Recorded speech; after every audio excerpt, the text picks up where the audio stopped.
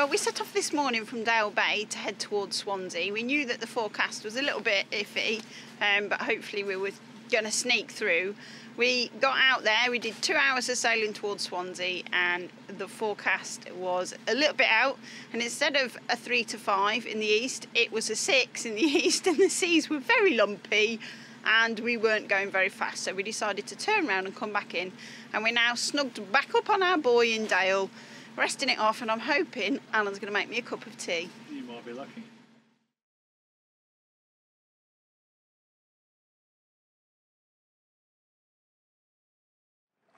We came down from Milford Haven yesterday to sit out and wait for the tide. The tide today is about lunchtime and we were going to have another sort of attempt. Don't know if you know, but we had one attempt already to head up to uh, Swansea, but the weather was so rough that uh, we came back. So here's Seagull on Dale pontoon. It's a holding pontoon just in the middle of Dale Bay. There's nothing connected to it. Here's Aquila, who we're still sailing in company with. But we're waiting for these easterlies to calm down. And I have to tell you, these easterlies have been strong and coming in for days. We've had them for about a week. It's not getting much better. Not sure we're going to be leaving today, but look at these waves just coming in. It's getting so loppy in here due to these easterlies that the pontoon's getting wet. Look at that. If you're wondering what we do while we're on board to pass the time when we're waiting out the weather, here's Alan. He's writing his diary. He keeps a daily diary just so we can remember in the winter everything that we've done. It's really great to look back on and remember everything in detail, otherwise we forget lots of the details, whereas I sort of do our YouTube channel and we can watch that in the winter as well. Here we are, we're coming up to Linney Head.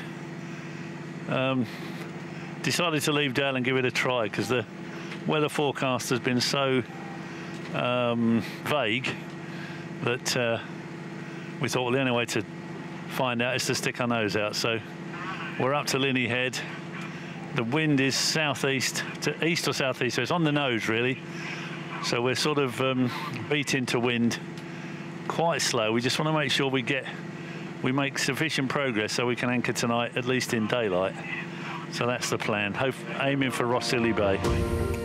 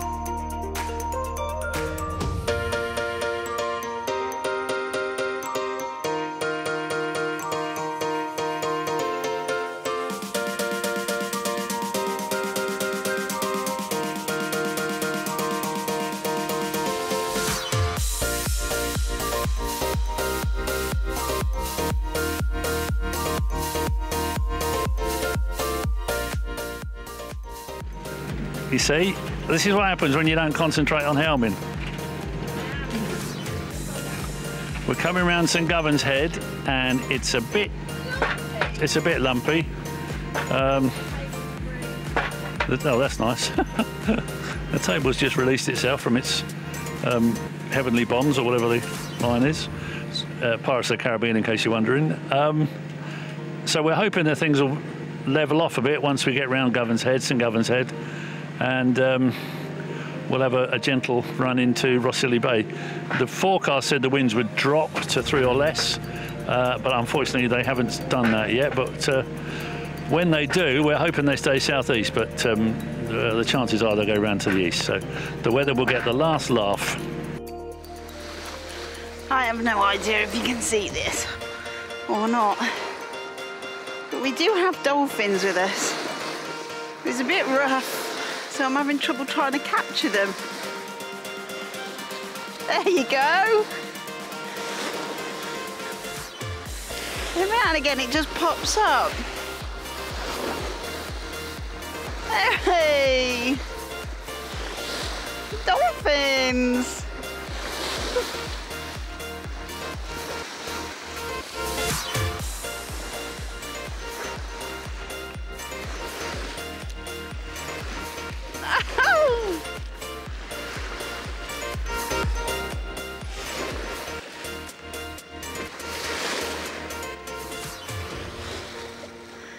Very tricky to film and look at the same time. I'm not doing a very good job. May have to cut this in a very odd way so that it gets um, some good footage. Good footage? Good footage.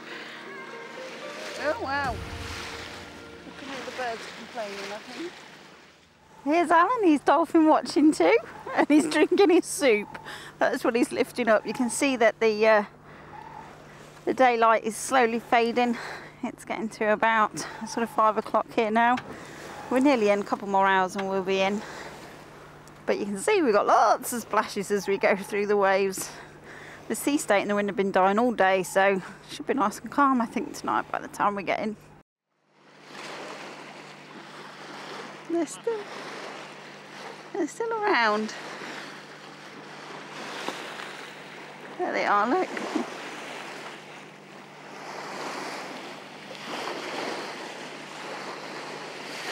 Splashing away. A little play.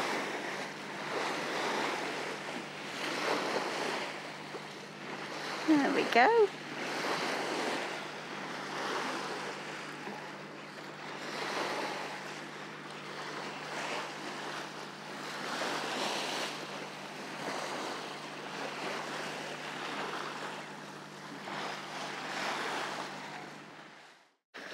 Here they are, dolphins with our bow. Hi dolphins. They're enjoying swimming with us today. Woohoo! We are going through some big splashes.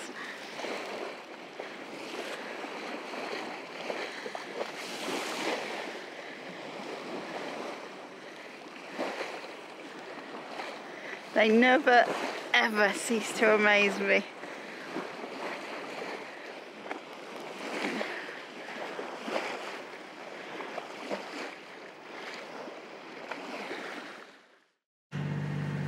So we're coming into Rhossili anchorage. The sea state, as you can see, is calm right down, and uh, the sun is starting to set. But we should get in with enough time to lay the anchor without having to worry about doing it in the dark. So we're very happy about that. Tish is in silhouette. See if we can see Worm's head. Let's have a look.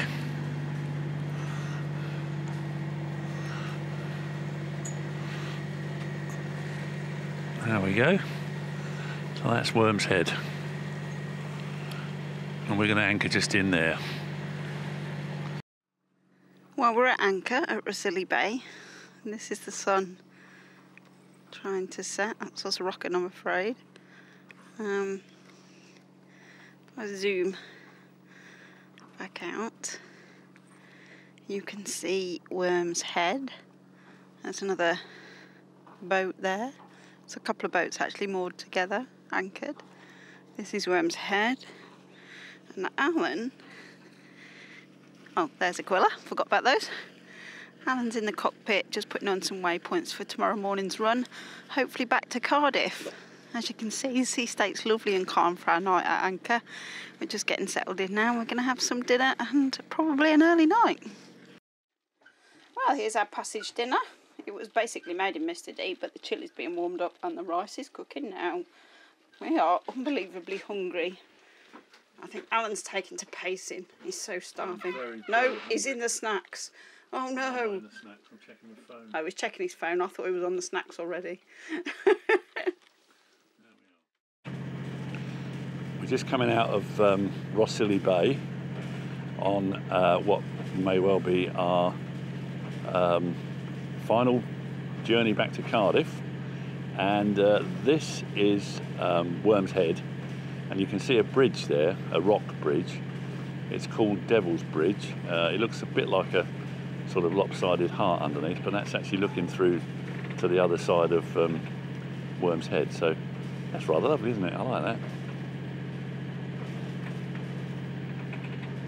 We're coming out here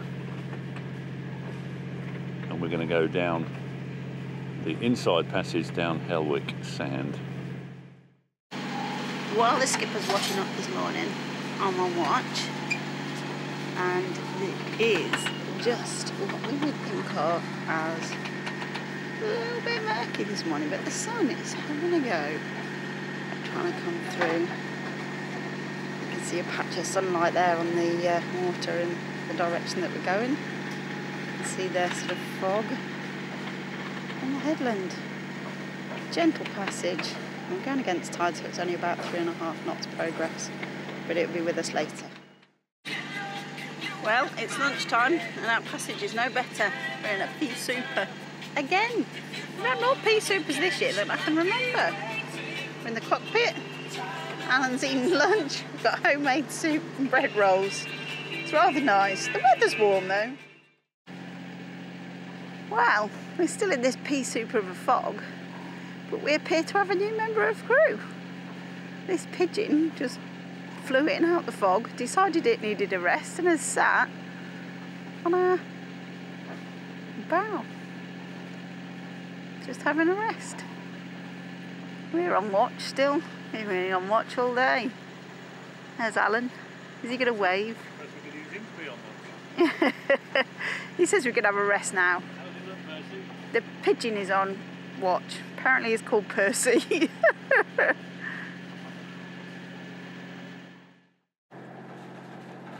the pigeon has made its way right into the cockpit and didn't want anything to eat.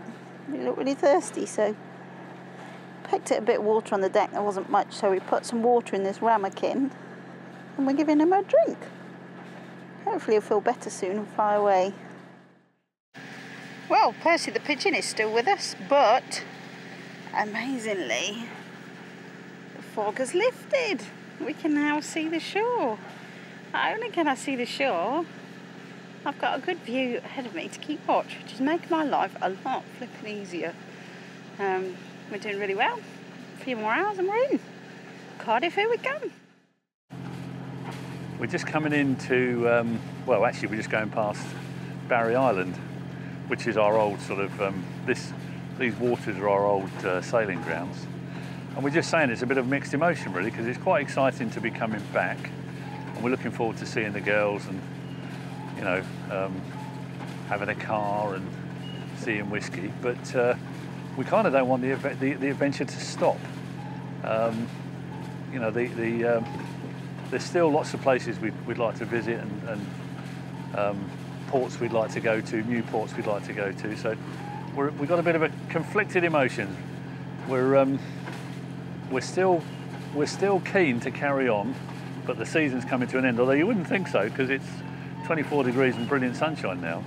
Um, for the for the last six seven hours, we've been in absolute dense fog. But we're just as we're coming into Cardiff, it's bright and right up, and it kind of makes you think we should carry on. But there we are. We are where we are. We are on the approach to Cardiff Bay Barrage now. As you can see, there are two very big boats coming out. We're in a a little channel, so there's just room for us all. We're heading in and the barrage is just in front of us. It's uh, The gap is just the left of the second big boat with the red hull. We'll be in soon. We're in the barrage and Alan has just helped this boat come alongside. He's walking along the pontoon now.